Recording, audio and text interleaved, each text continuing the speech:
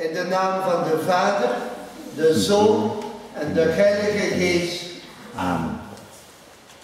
Wanneer wij naar deze apostelen vele verhalen hebben genoteerd over Jezus. Verhalen die echt gebeurd zijn. Er was eens een vader, vertelde Jezus. En hij had twee zonen. Niemand kent dit verhaal?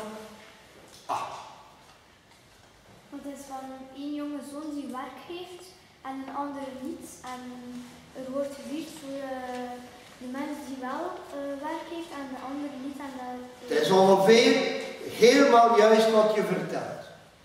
Foei van me. En dan zegt hij, mocht ik maar kunnen terug naar huis gaan, naar mijn vader. Papa, dat mocht ik niet gedaan hebben. Ik zal hem zeggen dat ik mijn geld verprast heb. Ik zal hem zeggen dat ik hem pijn heb gedaan. Nee, dat is niet goed. Ik zal zeggen dat ik hem zeer veel pijn heb. Je zijt mijn vriend, mijn zoon en je blijft mijn zoon. Ik zie dat je spijt hebt en je krijgt nieuwe kansen.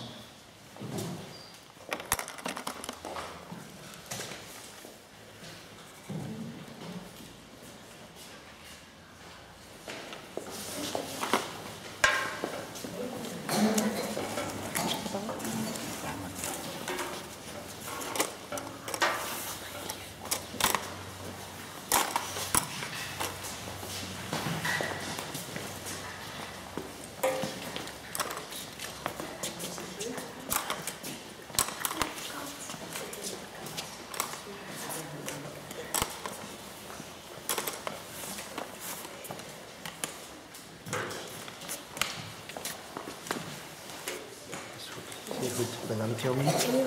Klein. Niet te klein bloot.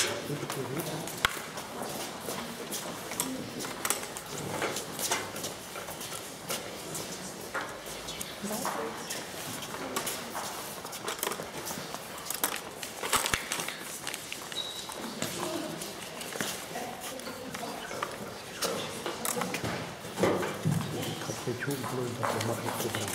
Niet te veel. Eh, eh, open.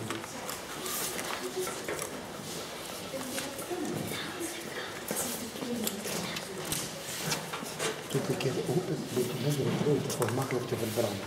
En dan, maar dan, dan blijf je maar Ga staan. maar mee om te kijken dat ze en de andere kinderen mogen volgen naar buiten. Dank u wel.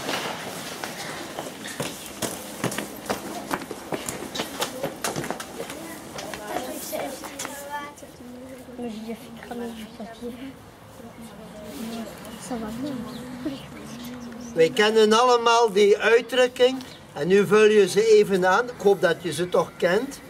Het is vergeven en Vergeten. en vergeten. En wij doen dat soms, hè. Wij horen dat soms en we zeggen dan, het is vergeten, het is vergeven en vergeten. Maar wat doen mensen? Vergeven, maar ook vergeten. Ik kan het niet meer lezen. De goede God, uw goede God en mijn goede God, die wij vader mogen.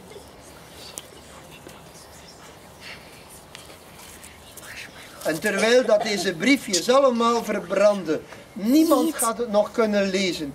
Niemand weet, alleen God en jijzelf, wat dat je neergeschreven hebt op dit briefje.